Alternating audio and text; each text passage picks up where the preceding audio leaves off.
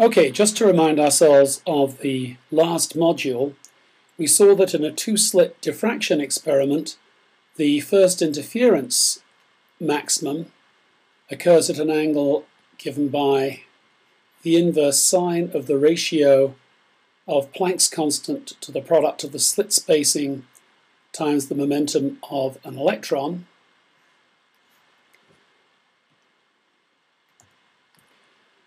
And we saw that the minimum momentum for a photon to be able to resolve where an electron uh, had gone was on the order of Planck's constant divided by the spacing of the slits.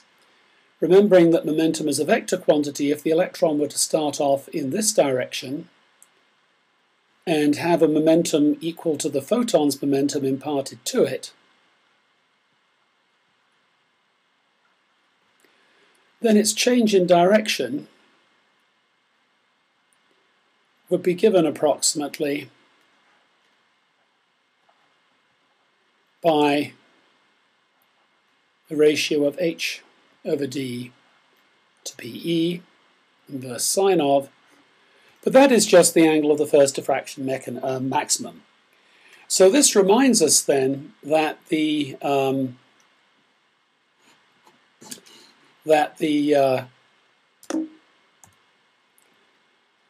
attempt to measure the position of the electron spoils the interference effects that are the hallmarks of quantum mechanics. Another statement of this is the Heisenberg uncertainty principle, and it states that in any measurement in which one tries to measure an electron to within some distance delta x, the corresponding uncertainty in the momentum of the electron, delta p, is given by the product of the uncertainty in position times the uncertainty in momentum, being approximately Planck's constant. For a macroscopic object where x is meters and p is uh, kilogram meters per second, um, the uncertainty in any one of these two things is infinitesimal. On the atomic scale, it's very significant. Planck's constant 6.6 times 10 to the minus 34 momentum times um, position means kilogram meters per second times meters or meter squared per kilogram uh, per second, meter squared kilograms per second rather, um, can be rewritten knowing that energy, which is a half mass uh, times velocity squared, for kinetic energy. So we can write that as kg meters squared over seconds squared. If we then multiply this by seconds, we'll see that that is equivalent to kg meters squared over seconds, the units of Planck's constant. So we can then use as units uh, for Planck's constant joule seconds, energy times seconds.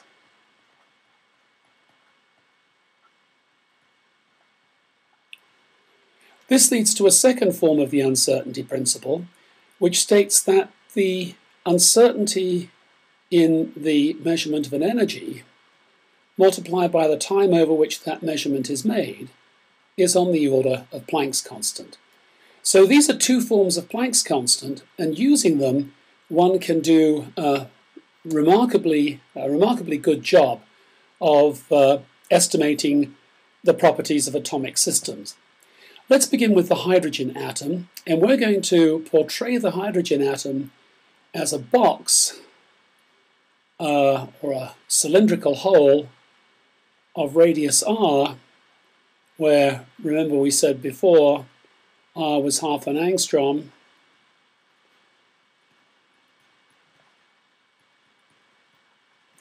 Let's ask then what the kinetic energy uh, is of an electron confined to such a box purely from the uncertainty principle. So to do this, we are going to estimate the momentum this way.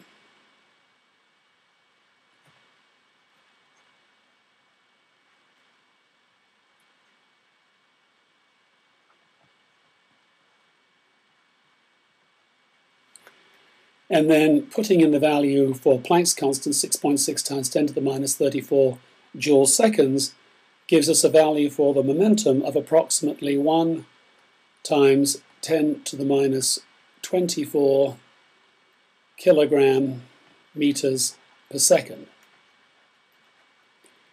The kinetic energy, which classically is given by a half mass times velocity squared, which is the same as p squared over 2m, one can calculate, given that the mass of an electron is uh, 9.1 times 10 to the minus 31 kilograms. You'll find all these numbers in Appendix uh, A of the book. And plugging this in one then gets a value for the kinetic energy of around about 6 times 10 to the minus 19 joules. Remembering that um, for a body in circular orbits, not really a true picture, but we'll use it anyway, um, kinetic energy is approximately equal to potential energy. The total energy of the ground state then will be twice this, or about 12 times 10 to the minus 19 joules. That actually is a surprisingly a good estimate of the ground state energy of a hydrogen atom. So given the radius, we've estimated the ground state energy of the hydrogen atom using the uncertainty principle. Let's turn now to a problem in spectroscopy. Consider an atom with two energy states, separated by some amount delta E. If we shine light on uh, these, this atom, we can cause the electron to move to the upper state, resulting in absorption of the light. And if we plot the intensity of the absorption versus frequency, we'll see a peak like this. And for an atom not interacting with any uh, other atoms, the peak, of course, is at a frequency such that Planck's constant times the frequency is equal to delta E. But the line has an intrinsic width. And the question is, what is this width? Well, the width will be 1 over the time for an absorption. So we see here we have an energy and a time. Let's use delta E, delta T is h bar to estimate the time for this transition.